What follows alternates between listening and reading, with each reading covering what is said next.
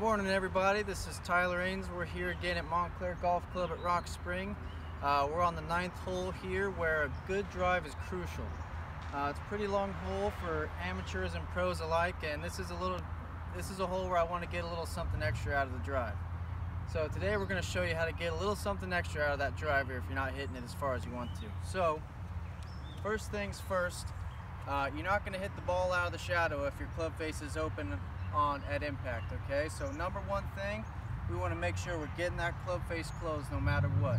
Number two, everyone that I see that doesn't hit the ball far does the same thing. They swing with their shoulders, no lower body. This is where your strength is, okay? Your core muscles, your back, your abs, that's what you want to hit the ball with. So when I make a swing, that's what I want to start the swing with. At the top of my backswing, I want my belt buckle to get to that target before anything else. It's just gonna drag everything else through. I'm gonna try and square the face, okay? So we're gonna try and hit one for you here.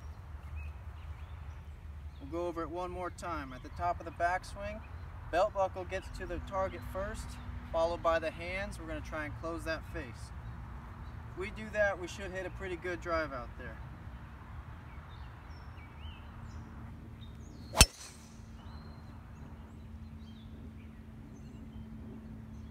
Pretty deep. Okay, try that next time.